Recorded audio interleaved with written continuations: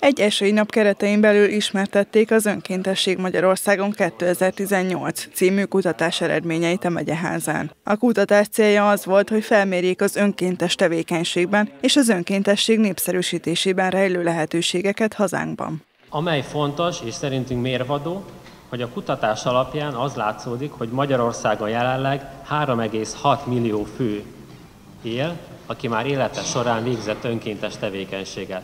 Legyen szó ez az elmúlt egy hónapról, egy évről vagy tíz évről.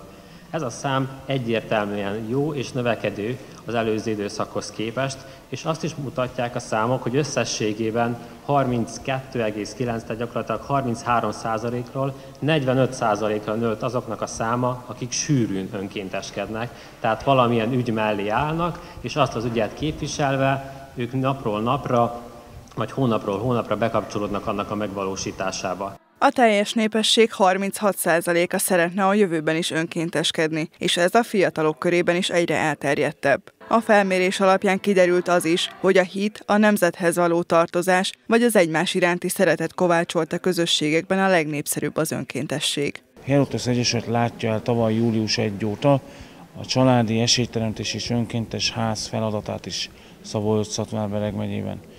Azért fontos ez a feladat, és úgy függ össze a korábbi feladat a jelenlegi feladattal, hogy itt is az a feladatunk, hogy ezen a területeken érzékenyítsük a polgárokat, információt vigyünk a polgárokhoz, együttműködéseket generáljunk önkormányzati, civil, esélyteremtési, családügyi szektor között. Ezen a területen közel 70 megyebeli szervezettel áll napi szinten kapcsolatban a Hieroteos Egyesület.